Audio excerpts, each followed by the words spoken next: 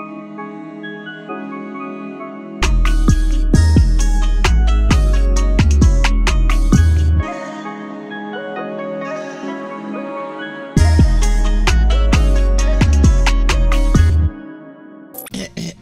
Yeah, you knew it was coming. One Piece Chapter 1060 breakdown, and as promised, it is just me. I was tempted to get other people. Trust me, this is one of those chapters, but then I said, you know what? It's just gonna be me and the people today, okay?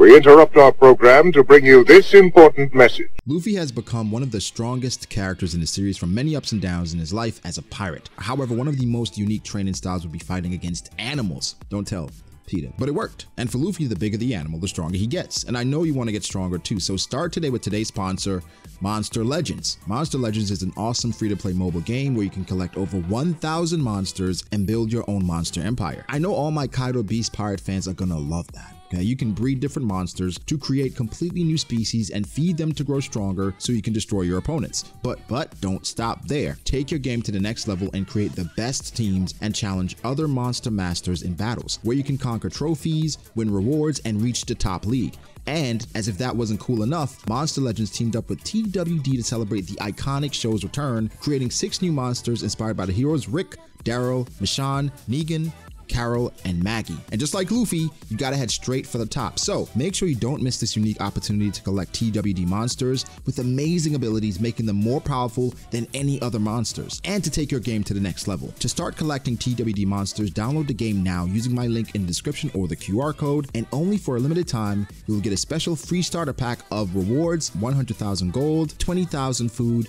3 gems, and Mothman. So once again, thanks to Monster Legends for sponsoring this video. Make sure you download the game now and get the incredible TWD monsters. Don't miss the opportunity to download it through the link in the description and claim your free starter pack, which will get you right into the game and speed up your progression.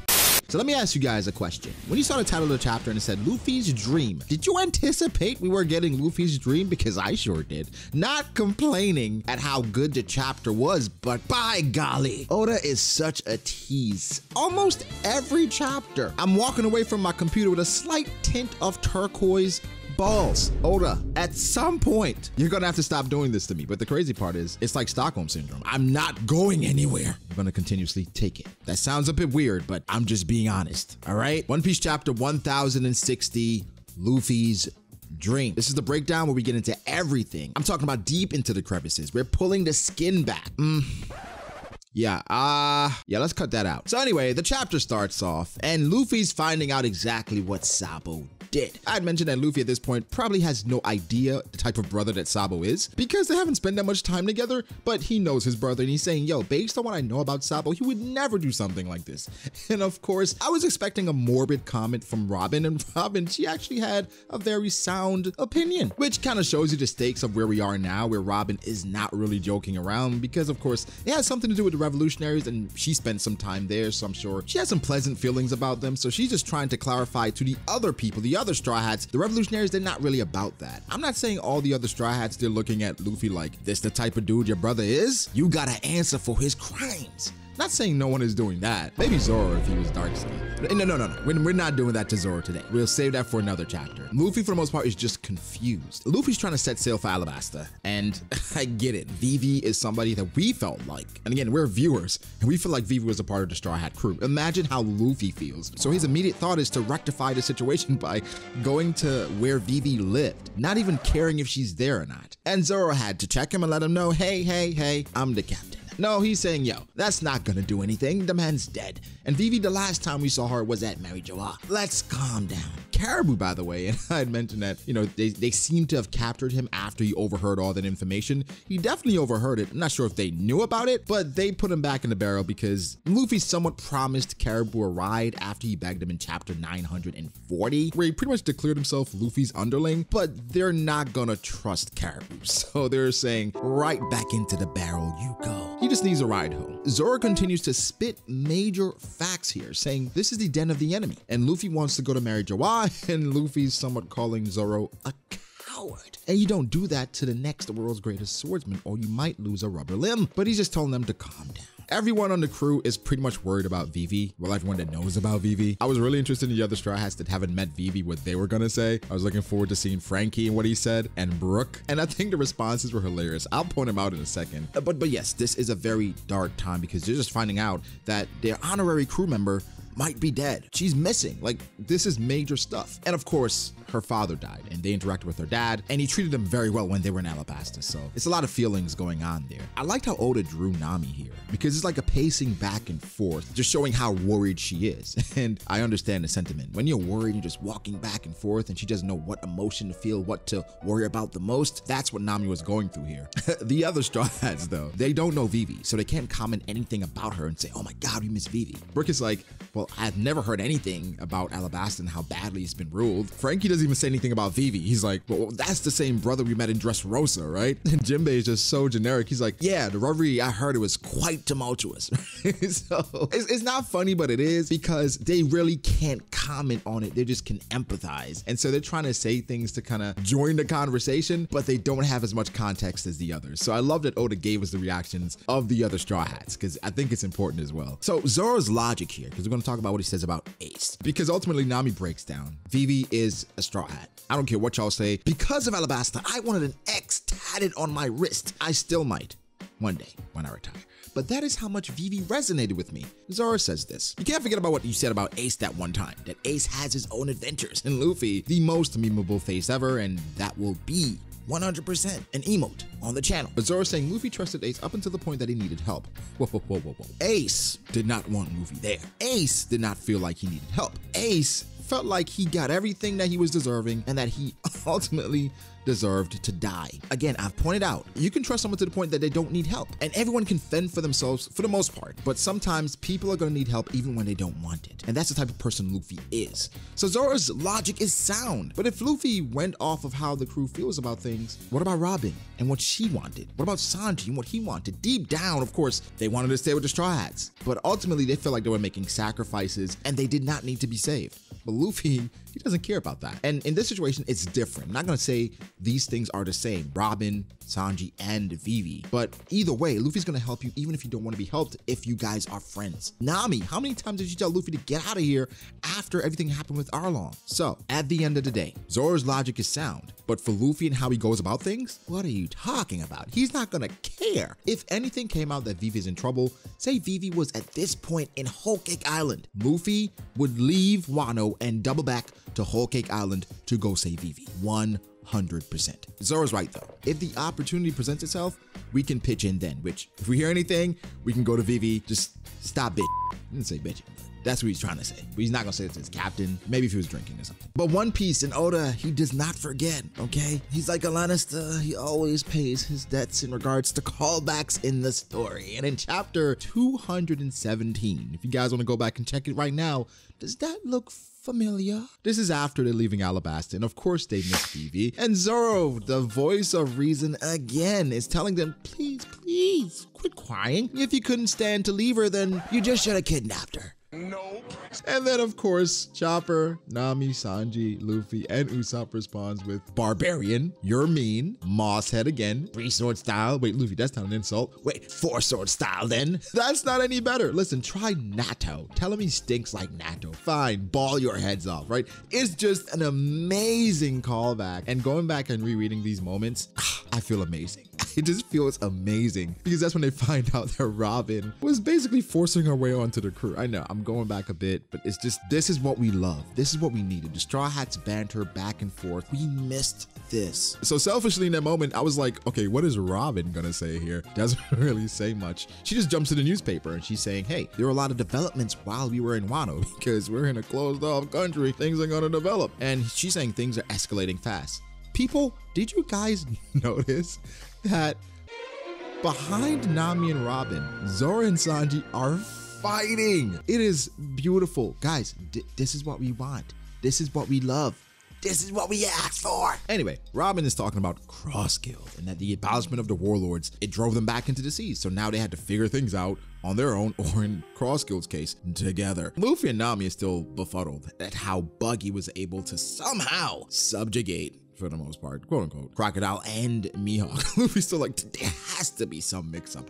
There's no way. Oda spears us here, or spears Luffy rather. Remember I mentioned earlier that Luffy, if there's a friend in need, it doesn't matter where they are, he's gonna try to save them. By Robin saying to Luffy, do you want me to tell you everything? It saves us a bit because Oda doesn't have to write in Luffy's decision in regards to saving Kobe or going after Rayleigh or saving Hancock. He's just on a need to know basis. And for them at that point, he doesn't need to know. But Robin is teasing, hey, there's so many familiar names in here. Do you want to know what's going on? Luffy's like, no. If there's anything big, let me know. Okay. I would consider Blackbeard going to Amazon Lily and being stopped by Rayleigh and kidnapping Kobe pretty damn big. I'm sorry, am I am I the only one? However, Robin is not privy to all the relationships that Luffy has with these people. But goddamn, that's a pretty big one. But Oda, he can't have that happen because personally, I think Luffy goes to try to save Kobe, and Hachinosu is right across the way because they're on their way to Elbaf. I presume I'll talk about where I think they're going, but they should be on their way to Elbaf. Hachinosu is not that far away, considering where they are. But this was an out that I think was necessary for us to continue on our journey. It's almost like back then when we talked about Sabo, and I would say, well, I don't think Sabo's captured. Doesn't make sense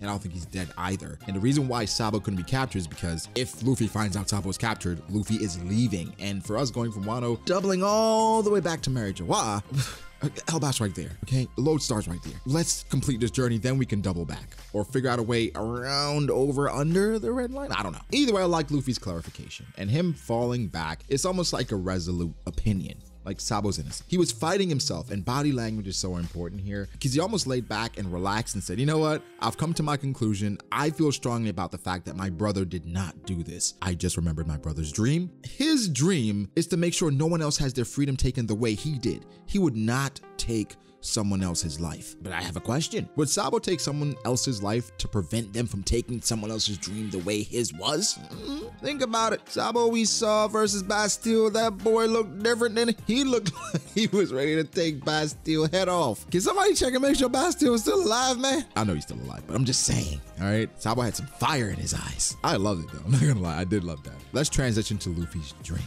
We get a flashback of the ASL backstory, or the ASL flashback. We get a flashback of the ASL flashback. Luffy talks about their dream, and they all declared their dreams. And Luffy, he told the Straw Hats his dream, well, the Straw Hats and Caribou. And uh we didn't find out about it. How do you guys feel about that? I'm a bit salty. You know, like I said, Uda, Uda, Oda has been doing the turquoise thing to my ball sack for a long time, and he just continued this. The Straw Hats all surprised and even having conversations with some people, they were a bit perturbed by this because they're like, wait, this crew is about dreams and following and helping everyone accomplish their dreams. And they did not know Luffy's actual dream. They're astounded. Now, the reactions of everyone, it brought so many opinions. Personally, I don't have a great answer, right? But I'll tell you guys what I think it is. I think Luffy wants to go and have a party on the moon. I'm gonna do more research and try to have a video where it's a lot more evidence to back up how I feel because I think Uta and Luffy's conversation could contribute to Luffy's dream, his true dream. Now, we get some more context, and Oda's just, again, giving us puzzle pieces,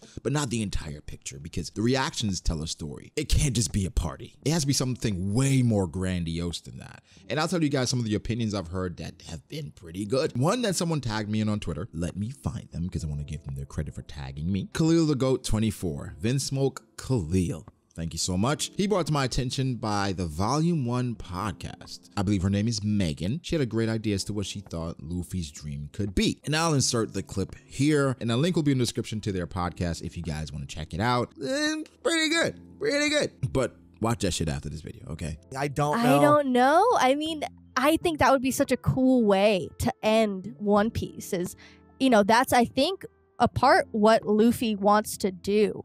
Um, I I think that his dream. Can I talk about it now? Sure, or- go ahead. Yeah, yeah. I go think his dream, like he'll say it like this, right? And everyone will be like, "What the heck? That's impossible." But I think he means it a different way. I think his dream is like, I want everyone to be a pirate. Because pirate in his mind means freedom. I thought that was pretty cool. Where Luffy's dream is to make everyone a pirate. And I guess for Luffy, breaking it down would be to make everyone free. Because Luffy's all about freedom, and that's what he associates with freedom. It has some legs. It has some legs, not saying it's 100% definitive, but it has some legs. Some other opinions where Luffy wants to be a king of the world, right? Luffy wants a big party with the world. Luffy wants to be friends with everyone. Luffy wants a party with revolutionaries, navy, and other pirates. Everything is outlandish, but I think the answer is somewhere in the story. We just got to go back and we got to find it. And guys, we're going to fucking find it. All right. Again, the Straw Hats are telling him, bro, there's no way anyone can do that. But Luffy's saying, once I become the king of the pirates, I have a shot which making everyone a pirate is a crazy take. Becoming the king of the world is a crazy take. But man, I, I, would like to see him try. But this goes back to some conversations we've had about what happens after Luffy finds the One Piece. And this could be Oda adding on information, adding on things for Luffy to do. It's kind of like, you know, in Pokemon Emerald, after you beat all the gyms, you fight the Pokemon champion, and now you have to battle Frontier, right? So at first, we had an idea of how things should go the One Piece was going to be found before we go against the world government because we need context as to why the hell we're fighting. It could be that way. Oda came out and said that once the One Piece is found, the story is over. So now it's like, well, Oda, if you said that, well, Luffy's saying this can be accomplished after he becomes the king of the pirates. Are you going back or are you adding stuff? We don't know yet. However, really interesting stuff. Again, it is crazy as hell that Luffy has not mentioned this to anyone on the crew because he said he only told Ace, Sabo, and Shanks, and Shanks was crying while tears are rolling down his face. That's also Roger's dream. So, in the midst of laughing that Luffy said something like that, so crazy, the tears were streaming down because he remembered his captain. And of course, Shanks and Roger had an amazing relationship. Roger said something to Shanks, and Shanks was he was bawling, man. So of course, Luffy saying something in the same vein of Roger is going to impact him. The most interesting reaction here is Robin to me because she just had ellipses, almost as if she was stunned, like if she heard her before. Not saying that she did, but she was speechless. Now everyone had a reaction and had things to say, but Robin's was the most. I would say ominous is probably too strong, but it had me thinking, what do you know, Robin? And also her question that she asked Luffy about, hey, how did Shanks, Sabo, and Ace react where she's interested? Hey, what did they say to that? You know when somebody says something crazy? Where it's like, hey, my girlfriend, I finally told her that I have three nipples. And I'm like, oh, okay, okay uh, what did she say? What's the plan here? It was something like that. either way, I, th I, think we went off the rails a little bit. Luffy's dream and whatever it is, not sure if anyone is correct, but I love the fact that something about One Piece. is kind of romanticized. Again, romance done and just how beautiful the story has been. I still can't believe that I, genuinely have no idea of what Luffy's dream could be. 1,060 chapters in. Jinbei goes from surprise or shock to just genuine laughter. And he's saying, yo, I joined this crew of my own volition. So I guess it is my issue too. So that's why I don't think it's just a party. Unless the party is to party with the Marines or party at Mary Joa, ah, whatever it is. Jinbei is saying, okay, this is going to be troublesome, but hey, this is my crew. It is what it is. And I love how people went from dumbfounded to just in awe. Like Nami, people saying that's just love eyes. No, that's her looking at her captain just in awe of just the type of man that he is and thinking back to the reason that she followed him in the first place. Just going against the grain and living the way he wants to live. And I like how Franky's supporting him too. Like, man, I'm with it. Whatever it is, I'm down. But we got to find that last poneglyph though, okay? Then we can go to Laugh Tale. And Ram is like, hold on, Franky. Don't make me grab your nuts again. It's been a long time since we saw the last poneglyph. That's like what she said. We don't even have a clue on where to look. And then we transition. And the last time we talked about poneglyphs and where to look, we heard about a man scarred by fire. And da dun da dun da dun. Sabo's mentioned, the Flame Emperor. And of course, we go back to Sabo's conversation. Sabo's about to talk to Dragon and the Revolutionary and tell them exactly what transpired at Mary. At that point, Sabo seems a bit frantic. He can't find a white Denden Mushi, so of course the call is being traced by the intercepting team for the world government. And they trace Sabo to Lulusia. We see the Gorosei again, and I'm not gonna lie, the Gorosei, every time I saw them, it reminded me of how I felt when I saw giant wasps, right? I just ran. I was just so terrified. It was like, why are you so big with no purpose? That's how I felt when I saw the Gorosei. Now I'm kind of like, okay, how are you guys gonna this shit up now. Things are so out of control. What are you gonna do? And so they were very calm, like Lulusia. Listen, if I'm gonna saying I've been fucking up the way I've been fucking up, and I hear Sabos and Lulusia, I'm like, oh word, he where? Lulu. Hey Mo, no, no, no. Listen, no, no, no, no, no. I, I know, I know, I know. Listen, this in Lulusia. Yes, yes, that's that was the plan for today. And that's what Imu's like, oh shit, here we go again. Great cleansing, because that's one of the eight nations that rebelled a few days ago. And that's where Sabo chose to seek refuge. So I mentioned this in my review. Not sure if I did a great job of explaining it, but here we go again. Sabo is in Lulusia. Lulusia is a kingdom in Lulusia is not in the New World. Lulusia is in paradise. We had a cover story where Ace visited Lulusia. This is the town, and I said Brownbeard, but this was attacked by the Peachbeard pirates, and they saved the city from Peachbeard. So the commanders already had their stamp in Lulusia, and they rectified that situation. So therefore, after they heard that Sabo killed Cobra, it lit a fire in the people of Lulusia, and then that's why they were rebelling. And also, Lulusia is pretty close to Kamabaka Kingdom, or Momoiro Island, where Kamabaka Kingdom is. I say all that to say, Lulusia makes sense in regards to story consistency. I love it so much because it is perfect. It's the perfect place for Imu to wipe out. And so there's so much to tackle here. I'm surprised I'm talking this long, but it is a very loaded chapter. People are talking about Sabo and saying Sabo is the reason why they destroyed Lulusia. I do not think so. They're saying this was fate, and Asabo is unlucky because Lulusia was the first place they were probably going to take out anyway. So for them, things were kind of turning in their favor. It is not about Sabo specifically, it was about Lulusia. They were rebelling and they were going to be extinguished regardless. Sabo letting Dragon know that, even though he didn't have a white Denden Mushi, it just shows me that he was very frantic. Not sure if he found out information, if he had just gotten to Lulusia. But something also to point out, Sabo has bandages all over him. He's the only one seemingly that had some. So it seemed like Sabo was basically boxing by himself and they were supporting. Who knows? Either way, Dragon looked very stern and already told Sabo, if you did this, I will never forgive you. Sabo's letting him know, yo, I did not do this. He didn't say who did it, but he's saying it was not him. He's just being blamed for it, even though him being blamed for it is leading to the revolutionaries getting more acclaim than they've ever gotten in the story. I like how everyone is telling him, like, we always had faith in you. We believed it 100% that it wasn't you. I mean, that's pretty much how all of us were, but it's like, mm, what if, right? Because we saw the crazy fire in your eyes and Dressrosa. But Sabo has some information to tell them. And it's not just about, hey, I didn't do it. When I go back and reread the Reverie, the Queen Dowager Bonney, she was sneaking into the land of the gods. And so this tells me that the battle is happening in the castle for the most part. Like they were going back and forth in and out. And of course, having Morley, you can do things like that. And then having the support that they had with the revolutionary commanders, Sabo had gotten to the point where he was in the throne room at Pangaea Castle. He was saying, I thought there was no king of the world, but the empty throne was not empty. He got a glimpse of Imu. Listen, I'm surprised Imu has not hemmed up an admiral yet because the fact that he was seen, no one, no one should have been able to escape, right? That is a huge stain. How could you let that happen? Either way, we see a flying saucer or something in skies, and all we saw was Imu cross off Lulusia on the map. And then it looks like it got disintegrated. Something I also want to point out 16 rays of light came down. We noticed this when we were talking about the chapter once it got released, but I want to point out a comment by GM Trad by bringing all this together because 16 is very prominent here. First off, he says there's 16 beams destroying the island. Then the Celestial Dragons, they shoot people across their path 16 times. Doflamingo's final attack is the 16 holy bullets. Rayleigh gave the idea for Luffy to go back to Marineford and ring the bell 16 times. And Enel's cover story shows a page where people theorize it shows the three ancient weapons. The sun has 16 points. Chapter 1060 remote. This is funny. Chapter 1060 remove the zeros 16. Chapter will officially release the 16th of September. I'm going crazy.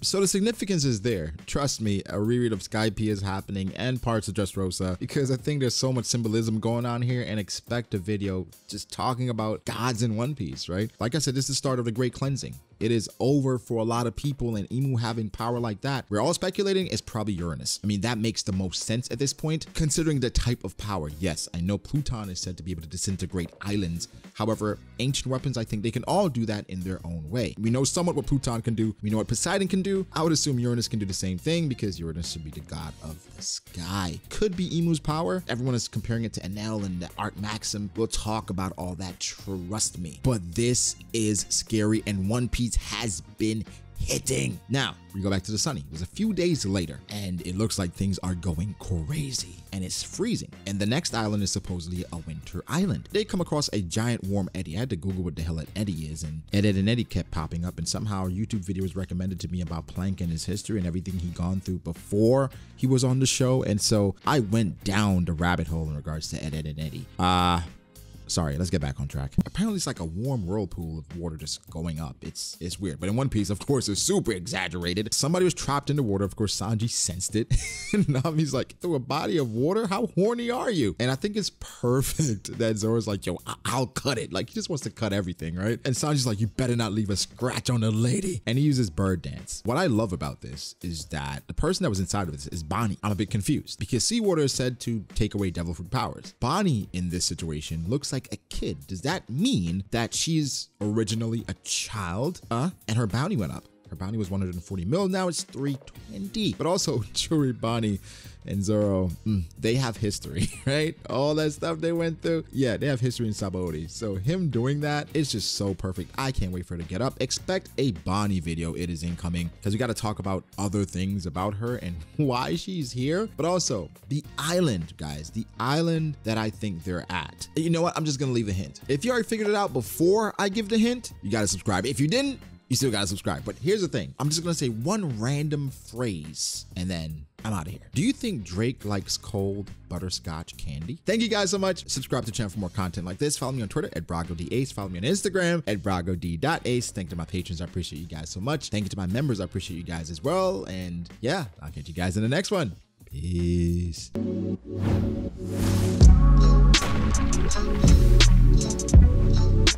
We ain't